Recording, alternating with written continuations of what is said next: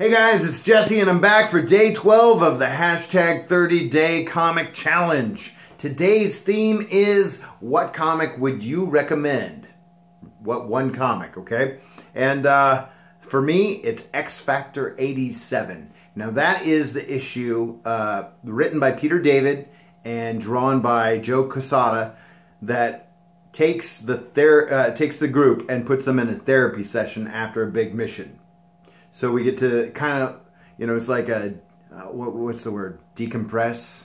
Um, yeah, the, they're decompressing. They're they're given a sit rep. They're uh, forced to look at the mental well-being and emotional state of the team. And it's just enlightening because that's not a thing that we look at in our superheroes very often.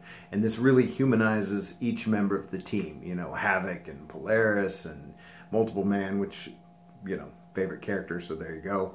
Uh, the thing about that issue that was the most interesting to me is it made me like Quicksilver. I never really dug Quicksilver. I never really got the appeal of the character. And in that one, I was like, oh man, uh, they really nailed why he's such a jerk all the time.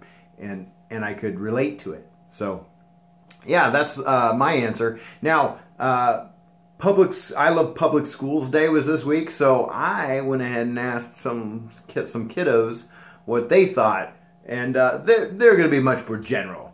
When I asked them what, what, comic would you recommend to somebody, they basically threw out like names of uh, of characters. So uh, enjoy some of these. I love the Star Wars comic. I like the Incredible Hulk. The Plants vs Zombies comic books. My favorite comic book is X Men. My favorite comic is the Green Lantern comics. My favorite comic is Captain America. All right. And I will see you next time. Like and subscribe. And if you have questions for us, hit us up on Twitter at Grawlix Podcast, or you can shoot us any of your ideas to letters at grawlixpodcast.com. See you for day 13. Lucky 13!